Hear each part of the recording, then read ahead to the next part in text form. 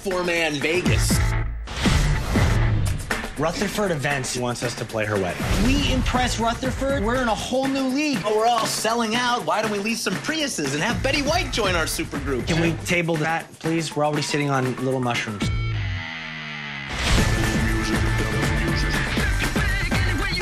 You were fabulous last night.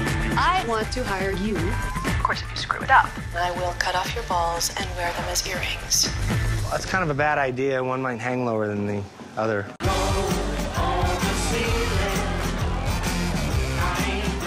Deliver everyone a happy ending. Why would I want to work anywhere else?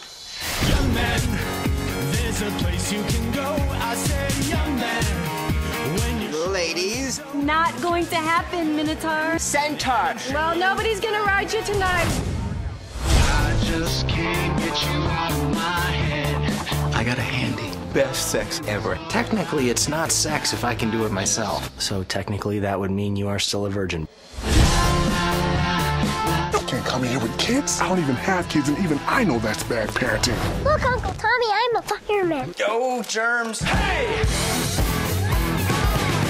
Can you help us lose our virginity? I've been working on a cure for virginity. think I'm pretty close to cracking it.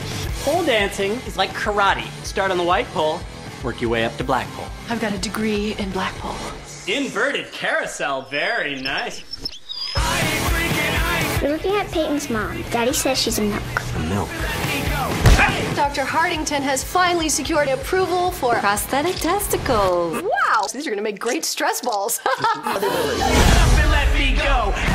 Wedding Band. Premieres Saturday, November 10th. Only on MuchMore.